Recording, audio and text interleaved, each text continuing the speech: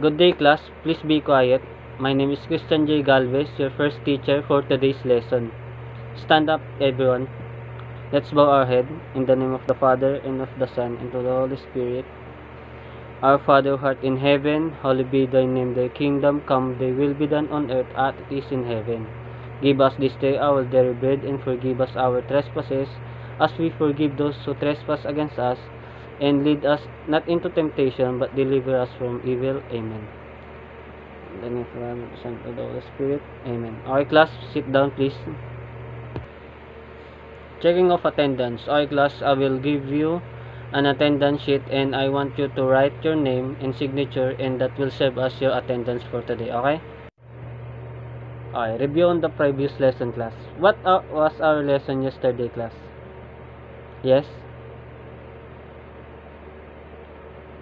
Yes, very good. Because we need to know that education programs aim to increase people's awareness of the risks associated with specific drugs when it comes to illicit drugs or non-medical use of pharmaceutical medications.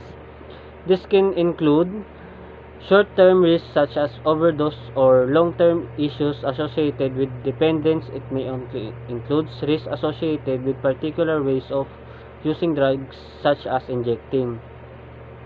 Next question is, what is drug addiction? Yes?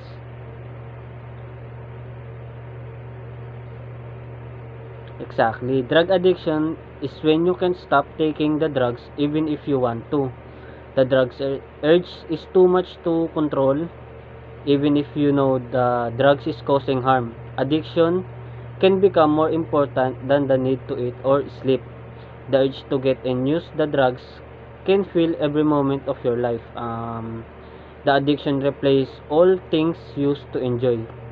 Okay class, before we proceed to our next topic, I will show you a video presentation about drugs to be able to know more about drugs and awareness. Today's topic is drug abuse. Drug abuse, also called substance abuse, is an illness that is characterized by destructive patterned use of illegal or legal drugs or medication. The condition affects the person's brain and behavior such that they are unable to control the use of the drug to the point that it interferes with their ability to function. The drug user consumes the substance in amounts or with methods that are harmful to themselves or others. Some of the most commonly used drugs are alcohol, cocaine, opioids, benzodiazepines, cannabis, barbiturates, amphetamine, hallucinogens, inhalants, club drugs, and other substances. There are over 190 million drug users around the world, and the problem keeps increasing at an alarming rate, especially among young adults under the age of 30. Drug abuse can cause long-term damage to the body. Drug addicts who use needles are at a greater risk of having HIV and hepatitis B and C infections. People start to use drugs for so many reasons. Some people start with the experimental use of recreational drugs out of curiosity, to have a good time, or because friends are doing it. For others, drug abuse begins with exposure to prescribed medications from a friend or relative who has been prescribed the medications, particularly with opioids. Over time, you may need larger doses of the drug to get high, and as drug use increases, it may get extremely difficult to go without the drug. An attempt to stop the drug may cause intense cravings as well as getting physically ill. In 2015, substance use disorder resulted in 307,400 deaths. Highest numbers are from alcohol use disorders, around 137,500. Opioids use disorder has 122,100 deaths. Cocaine use disorders has 11,100 deaths, and amphetamine use disorder has 12,200 deaths. Causes Each drug produces different physical effects on the brain. However, repeated use of a drug can alter the way in which the brain functions, including the way the brain feels pleasure. The addicting drug use causes changes in your brain that interferes with the ability to think, control your behavior, and at the same time send intense impulses to take drugs. It is because of this change in the brain that it is so challenging for an addicted person to stop taking drugs. Like many mental disorders, drug abuse has no single cause. Many factors may contribute to the development of drug addiction. The main factors are genetics, environmental factors, such as parental abuse or neglect, family beliefs, exposure to peer groups that encourages drug abuse. Other factors that may affect the likelihood and speed of developing a substance addiction may include psychological problems, such as depression, anxiety, bipolar disorder, as well as personality disorders. Peer pressure, early use of drugs, unstable home environment, poor relationship with parents, inadequate supervision over adolescents' activities, poor achievement in school. Symptoms a regular urge to use drugs daily or even several times a day. Recurrent substance use that prevents the user from meeting significant daily responsibilities at work, home, or school. Recurrent drug use in physically dangerous situations. Withdrawal symptoms at every attempt to stop drug use an unsuccessful trial of decreasing or controlling the use of the drug, cutting back on social or recreational activities because of drug use, continual use of the drug, even though the person is aware of recurring physical or psychological problems caused or worsened by drug use, a need to keep or maintain a supply of the drug, spending more money on the drug even though one can't afford it, doing things you wouldn't do such as going to the extent of stealing to get the drug. Diagnosis and treatment. A thorough evaluation that includes an assessment by a psychiatrist, psychologist, or licensed alcohol and drug counselor may be required for diagnosis. Blood, urine, or other lab tests are used in assessing drug use, but they do not serve as a diagnostic test for substance abuse. Treatment. With the right treatment and support, it is possible to counteract the disruptive effect of drug use and regain control of your life. The primary goals of treatment are abstinence, relapse prevention, and rehabilitation. Treatment options may include chemical dependence treatment programs, detoxification, behavioral therapy, support from friends, family, doctor support groups, or an organized treatment program may help to overcome your drug addiction stay drug free. Okay, oh, based on the video, what do you notice on the video presentation? Anyone? Yes. Yes, very good. Drugs have different effect depending on the drugs itself. The person taking it and their surroundings learn how your body processes drugs and about the short-term and long-term effect taking drugs can affect not just your physical and mental health but your whole life just one pill can kill. Next question is do you think illegal drugs will benefit in our mental health? Anyone please?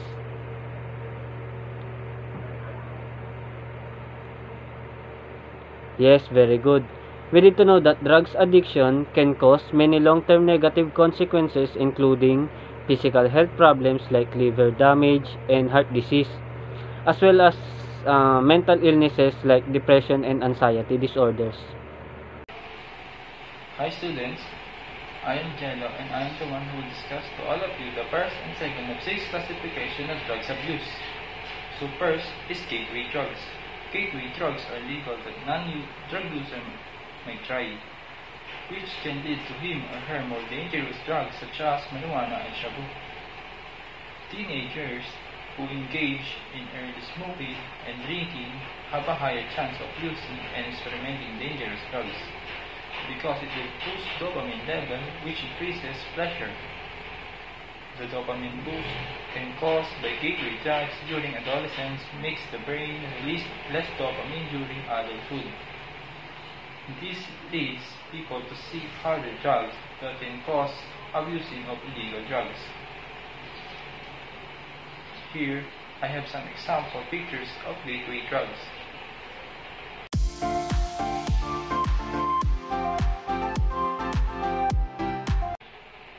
So students, based on the picture I presented to you, I have a question about gateway drugs. Is energy drink is one of the examples of gateway drugs? Yes or no?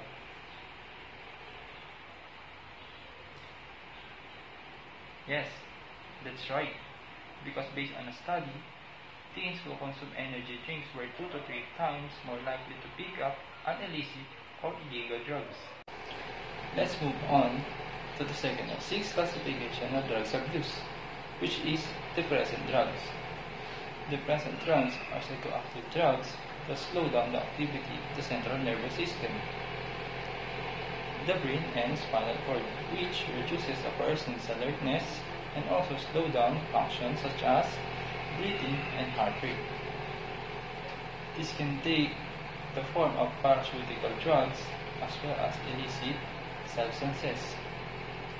Alcohol is also a widely used depressant drugs. So students, again, I have a question about depressant drugs. Is there any chance a doctor prescribing a depressant drugs? Yes or no?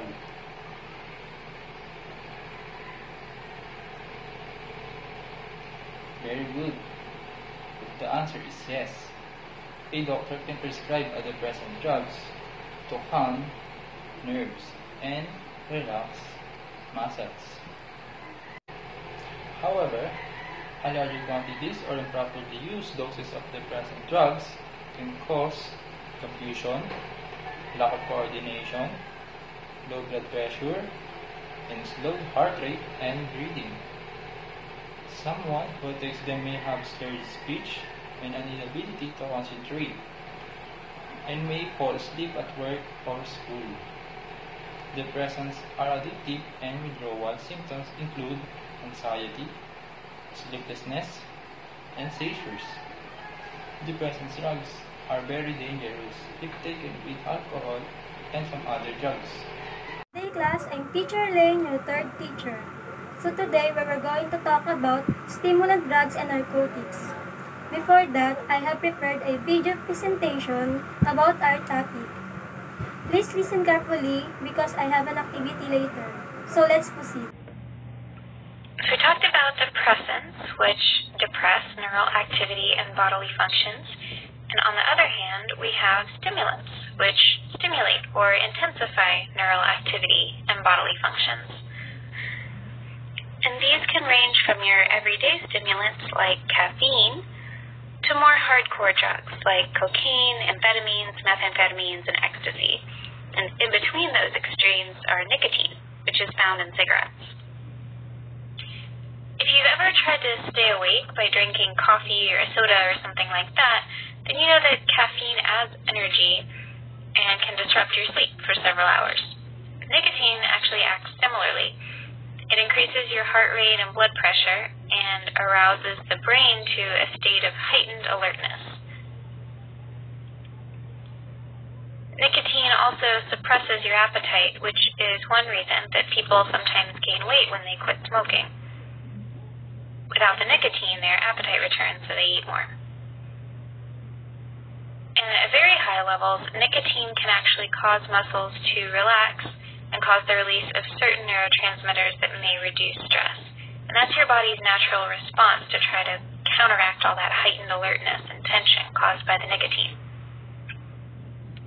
Both caffeine and nicotine are physiologically addictive, meaning that your body grows accustomed to them starts to experience negative reactions when you don't get enough. For example, you might know people who drink a lot of coffee every day, or you might be one of those people. And when if you don't get your coffee, think about if you experience any headaches, irritability, difficulty concentrating, even depression. And that's withdrawal symptom from the caffeine and coffee. And nicotine is even more addictive than that. And this is one reason it's so hard to quit smoking. Once the body gets used to nicotine, its absence can lead to withdrawal symptoms like anxiety, insomnia, distractibility, and irritability. cocaine is an even stronger stimulant. It causes your brain to release so much dopamine, serotonin, and norepinephrine that it basically depletes your brain's supply. And once the drug wears off, you experience this intense crash and become very depressed. Regular cocaine users can experience emotional disturbances, suspicion, uh, convulsions, cardiac arrest, or respiratory failure. Amphetamines and methamphetamines also trigger the release of dopamine, and meth can cause a feeling of euphoria that can last up to eight hours. But after that wears off, people experience, again, intense irritability, insomnia, or even seizures and depression. And meth is highly addictive, and people will literally just devote their lives to getting another fix. Uh, Long term addicts might even lose the ability to maintain normal levels of dopamine as their brain tries to adjust to the intense highs. Based on the video presentation you've watched, define stimulant drugs. It's either the definition or opinion. Anyone? Yes?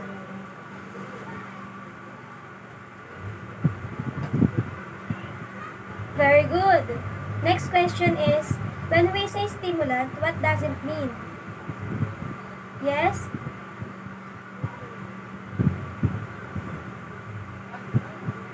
Very good. Thank you.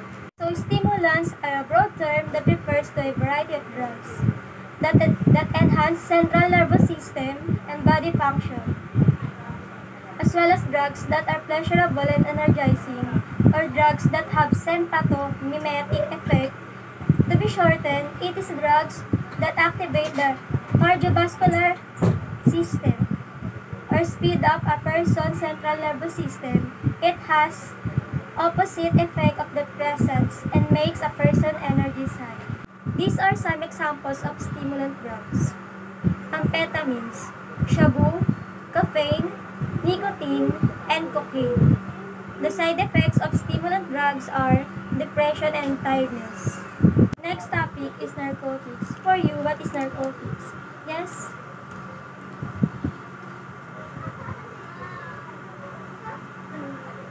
Very good, thank you. So, narcotics is a drug used to treat mild to extreme pain. Narcotics are similar to opiates like morphine and codeine, but they aren't derived from.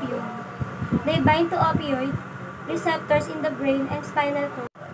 Opioids are the new name for narcotics, or drugs which relieve pain and induce sleepiness. These are prescribed to patients with mental disorders or with patients with dealing with severe pain like cancer, but illicit and dangerous if taken. Cocaine, heroin, and marijuana are the example of narcotics. That's all. Thank you for your cooperation and proceed to the next topic. Good day, class. My name is Ludivina Yu, your fourth teacher. Fifth is hallucinogens. Drugs which distort reality and facts.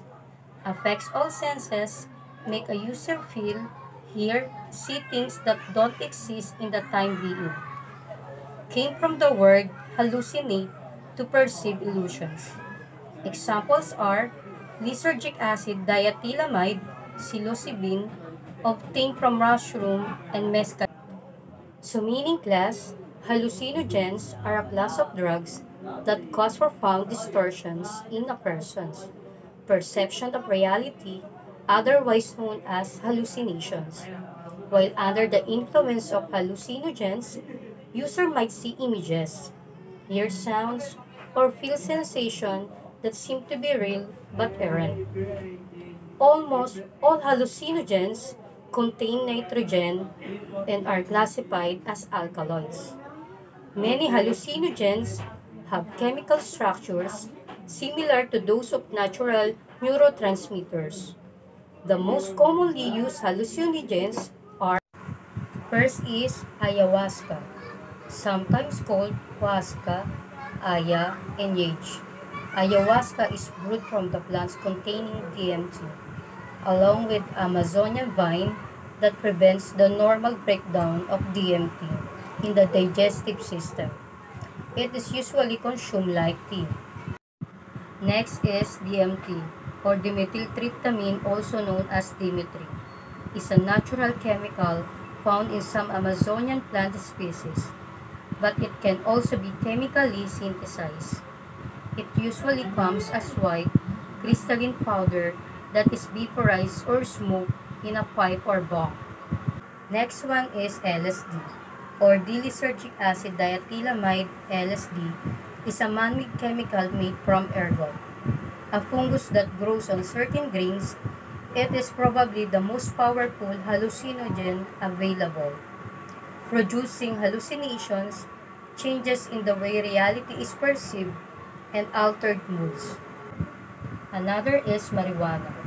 The active ingredient in marijuana is delta-9-tetrahydrocannabinol or THC, which acts on the cannabinoid receptors found in brain regions that influence learning, memory, appetite, coordination, and pleasure.